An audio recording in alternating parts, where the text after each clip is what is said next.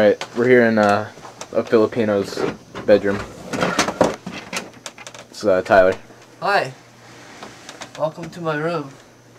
I have my shotgun here that I will kill zombies with. It is effective. Good It weapon. is effective. Got a 10 round magazine. You just put the rounds in there. Cock it. Bam, you're good to go. 12 gauge.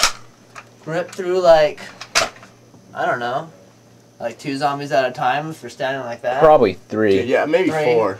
You do it right. Play cards right. I got this nice knife. Cut off the zombie's head.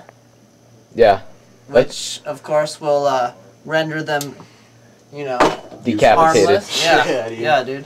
Screw Um, that. what else do I got? I got the soap. What kind, what kind of are, soap uh, is that? It's uh, anti-zombie soap. No, what brand? What Oh, brand? we're getting paid. Irish Spring, dude. All right. Original. That's right. Make them eat that, they'll blow up. Yeah, dude. No, I've seen that. I think that was in a movie. I got this huge freaking pen, Dude. but that wouldn't kill Ju- zombies. Jugular it's just killer. Cool. Yeah, I guess I neck. could do that.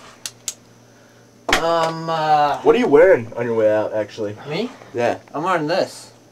Oh, Yeah, you're that awesome. yeah, dude. Dude, uh, 'cause probably the- taking the 'cause- pants off, huh? Yeah, it'll make me look sexier. Yeah. Because of tank top Definitely. and uh, yeah, just uh, ka-chink, you know, kill them, dead. Um, uh, what else am I taking? Food. So Maybe you a little bit more clothes because it might be a little bit colder. Um, uh, my helmet, of course. Oh, Let's- yeah. let's see That this. way they can't eat my brain.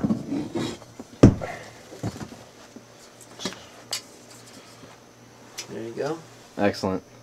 Maybe we could grab that Um, shotgun real quick. Yeah. Get both of them. Yeah. Yeah, dude. Rock on. That makes three of us who are prepared for the oncoming apocalypse. Let's go find someone else.